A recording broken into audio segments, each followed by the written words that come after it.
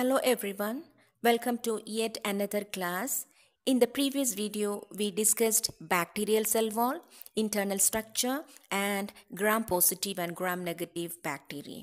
Today we are going to get into a new topic which tells us about a unique structure present in some bacteria. It is plasmid. What are plasmids? What could be their use? What's the structure of this stuff? What are the different types of plasmids? Let's talk about these concepts. Plasmids are extra chromosomal elements found inside the cytoplasm of certain bacteria. Extra chromosomal means they are not found in association with, with the main chromosome. They are present in the cytoplasm separately. They are tiny ring-like structure. You see, they are ring-like structure, but the main chromosome is highly coiled structure. And the plasmids have the ability to replicate independently. Here, one question may arise, what could be the use of these structures?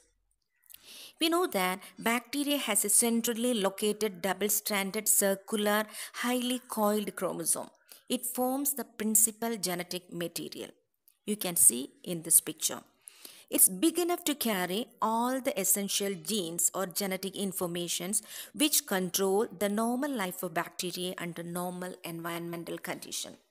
So all the informations which are required for the normal life of bacteria in the normal environment are present in the centrally located principal genetic or sorry genetic material or uh, that chromosome that is the nucleoid that is genes are you know what are genes. Genes are nothing but segments of chromosomes.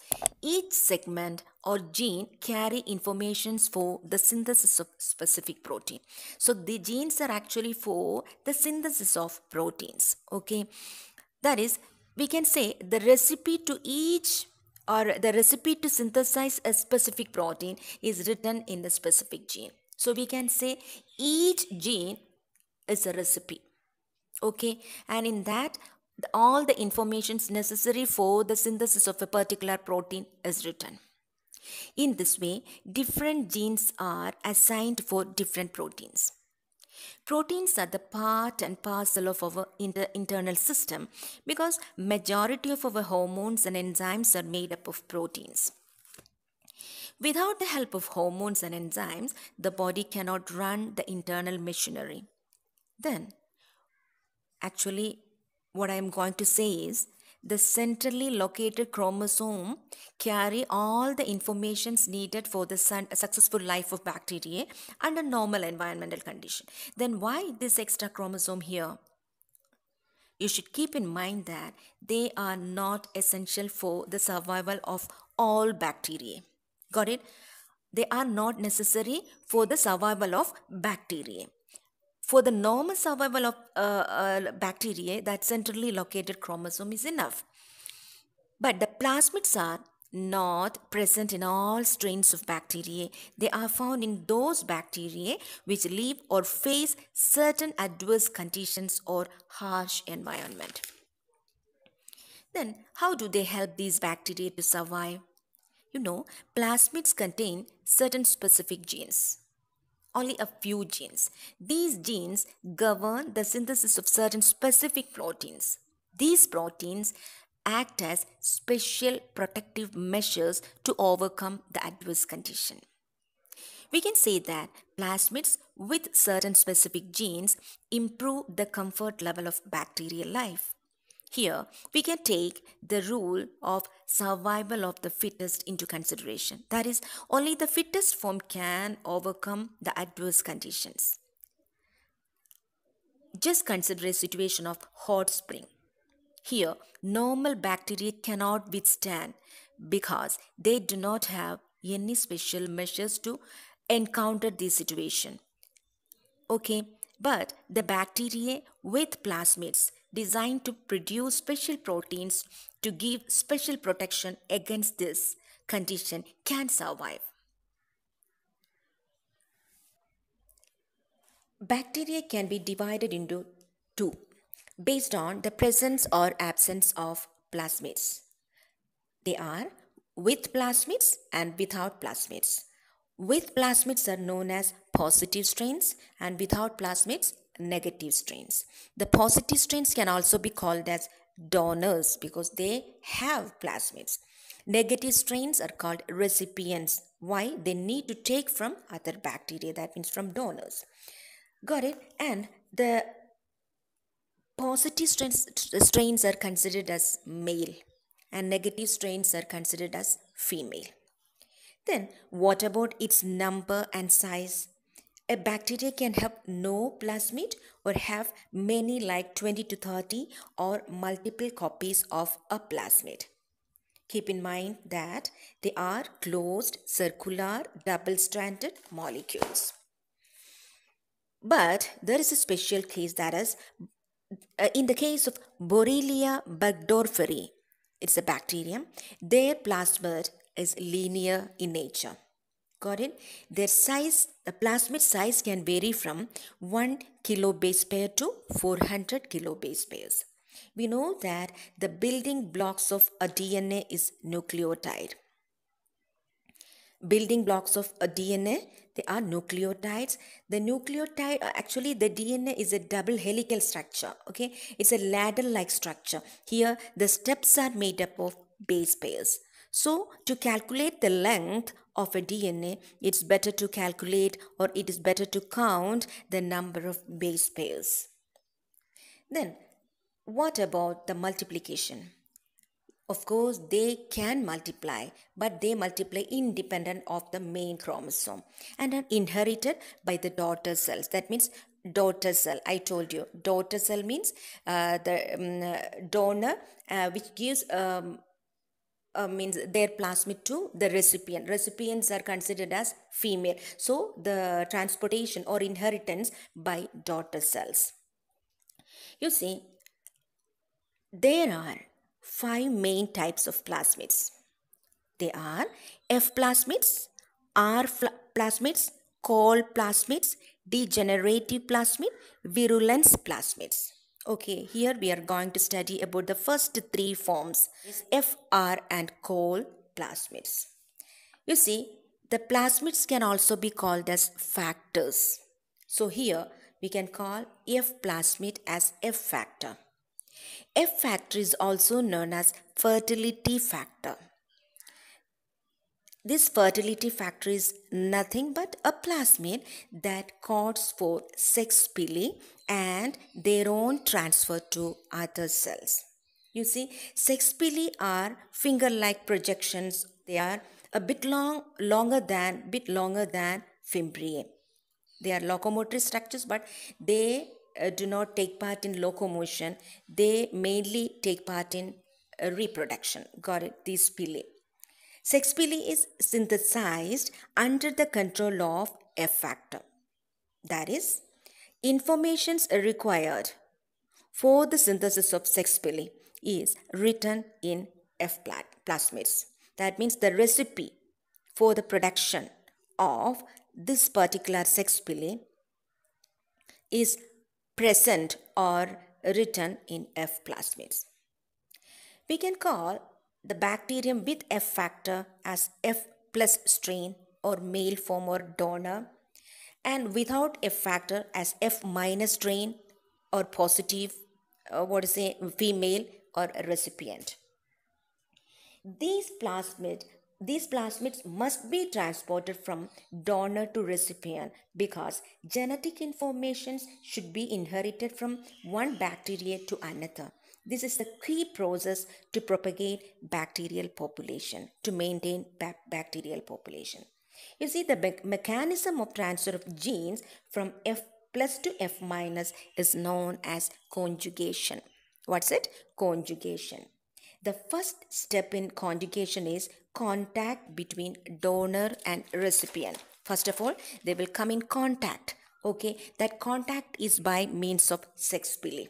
The F pilus of the donor recognizes and binds to the specific receptor on the wall of the recipient cell. That means the recipient cell wall, the bacteria, that recipient bacteria, its cell wall has a particular receptor cell.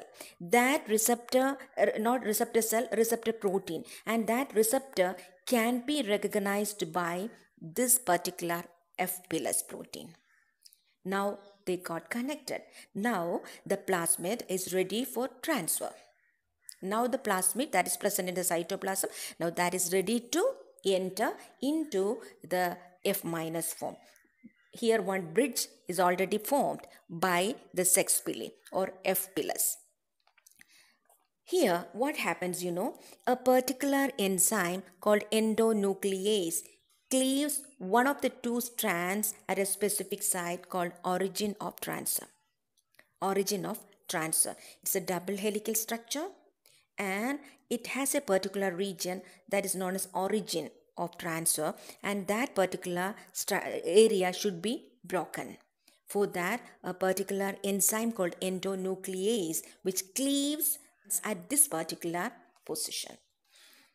Then, out of these two strands, one strand slowly separates from the other and move towards. Okay, they slowly separates from the other and moves towards the bridge formed between F plus and F minus. It enters the F mi minus through the bridge. Now the F minus is converted to what? F plus. As soon as it enters the F mi minus cytoplasm, it starts synthesizing its complementary strand. Complementary means its opposite strand. Okay. The micromolecules required for its synthesis come from the cytoplasm. At the same time, in the donor bacteria, the complementary strand will be synthesized in the same way. And these micromolecules uh, which are required for the synthesis uh, will be taken from the cytoplasm of the donor bacteria. After this process, both the cells look same and the F1 strain also became F+. So what would be its function? Fertilization or we cannot call, um, say it like that. It allows the donor to produce a pilus for conjugation. That's one important function. This plasmid allows the donor to produce pilus for conjugation. If we see a bacterium with sex pili from outside, we can conclude that it's a it's F plus. That means positive strain. This is an important point as far as your entrance is concerned.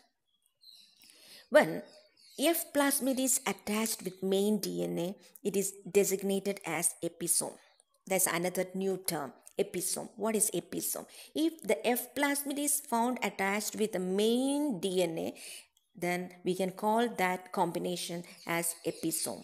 And this type of cell bacteria is known as high frequency recombinant cell. HFR cell, high frequency recombinant cell or HFR cell. The word episome was given by Jacob and Wollman. Let's move on to the next plasmid that is R factor or R, R plasmid. It was first demonstrated in Shigella in 1950. Shigella is a gram-negative bacteria which causes uh, dysentery. Shigella dysenteriae. Uh, that bacteria uh, cause dysentery. And this R factor is a plasmid that causes for resistance to many antibiotics. Thereby, these bacteria can overcome the effect of antibiotics. R factor can offer resistance to antibiotics like penicillin, ampicillin, etc. A bacterium with R plasmid for penicillin resistance is able to survive treatment by that antibiotics that means the r factor if uh, that r factor is assigned for uh, penicillin resistance and uh, if that particular bat- bacteria is exposed to penicillin, medicine, penicillin, antibiotic penicillin, what happens? This R factor, which is designed for the production of uh, protein against against this penicillin, what happens? This particular plasmid inactivates penicillin. Got it? So it uh, it can work against the treatment of antibiotic uh, penicillin So let's see how R factor provides uh, resistance against antibiotics or the mechanism behind antibiotic resistance. It acts in two ways. Drug first one is drug inactivation, second one is drug modification. In the case of drug inactivation, in, in another way that is drug modification here the drug is converted to or modified into a new form or a structure so that it may not be able to work against the bacteria. An example is given here that is beta lactamase is a protein which is produced under the control of R factor. That means produced by R factor that inactivates penicillin Another class of plasmid, its name is cholinergic or Col factor. Cholinergic factor or Col factor that determines the production of proteins called colicin which have antibiotic activity and can kill other bacteria. This protein can kill closely related bacteria that lack Col plasmid of same type. Anyway, it helps to reduce the competition among bacteria. That means in a culture or in a, uh, if uh, just imagine in a, in a medium, a different type, different strains of bacteria are living together. In such condition, uh, there will be competition for food and habitat. In such condition, these bacteria or the bacteria having this uh, Col factor, they can survive. They can uh, kill other bacteria with the uh, protein that is produced uh, under the control of this Col factor. Let's look into some related points. Plasmids are also known as sex factors, conjugants, extra chromosomal replicons, and transfer factors. Fungi, that is yeast, also have plasmids. Plasmids are extremely valuable tools in the field of molecular biology and genetics. Plasmids created in the lab are known as vectors or constructs. Vectors are plasmids genetically engineered by the scientists and used for research and production of biological products. They play a critical role in such uh, procedures as gene cloning, recombinant protein production, uh, like the production of human insulin and gene therapy research. Okay, that's pretty much it. Thank you. Have a nice day.